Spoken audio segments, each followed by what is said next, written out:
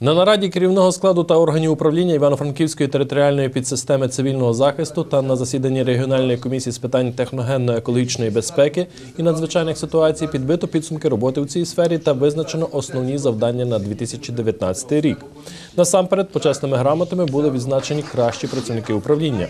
Завдяки злагодженій роботі усіх відповідальних за цивільний захист населення структур відзначалося на засіданні і самовідданості рятувальників досягаються необхідні результати. Досить серйозним викликом були і літні підняття води, які обрушували наші дамби спільними зусиллями з нашими надзвичайниками. Нам вдалося врегульовувати ці питання. Сьогодні проходять дуже активно процеси децентралізації. У нас же 25% території області покрито якраз об'єднаними територіальними громадами і проживає в цих 25% населення. І от е, ми повинні спільно працювати над тим, щоб в об'єднаних територіальних громадах питаннями цивільного захисту займалися дуже серйозно.